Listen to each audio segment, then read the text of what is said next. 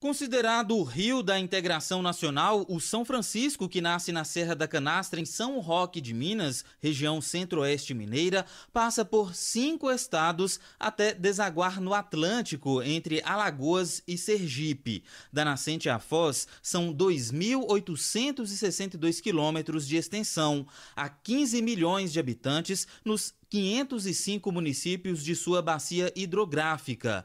De acordo com o Ministério do Meio Ambiente, o Velho Chico possui 168 afluentes, como os rios das Velhas, Paracatu, Abaeté e Jequitaí. E neste ano, as águas do São Francisco atingiram níveis que não eram vistos há mais de 10 anos.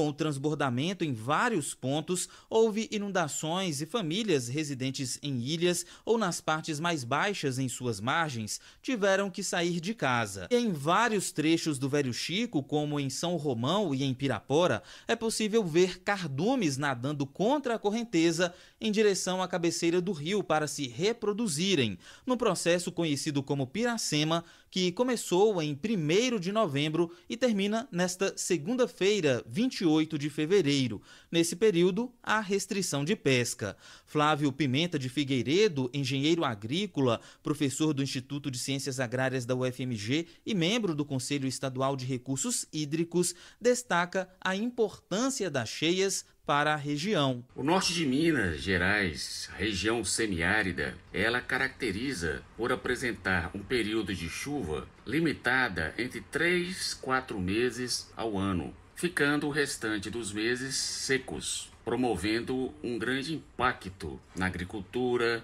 no meio ambiente. Então, as cheias dos rios que acontecem é, de tempos em tempos, elas jogam as águas do rio principal para as lagoas marginais, promovendo a reprodução dos peixes, para que na próxima cheia esses peixes venham a repovoar o rio principal.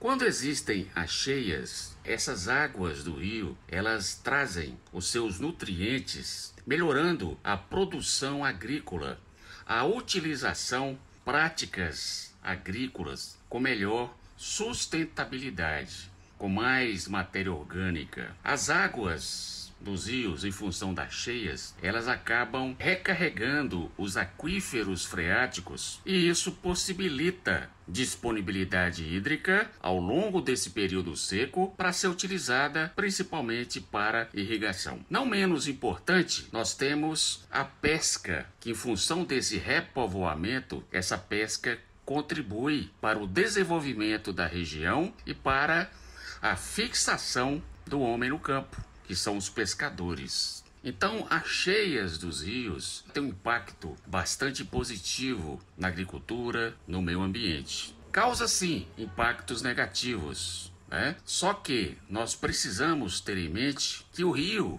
ele só queria passar. Então, quando as intervenções antrópicas elas acontecem, né, construção em áreas de preservação permanente, por exemplo, com certeza consequências virão. Então, nós ficamos muito felizes por essas cheias e a esperança aumenta de uma bacia hidrográfica com mais quantidade de peixes, com mais pescadores, e aí gira toda a economia da região. Do norte de Minas, repórter Osmar Macedo.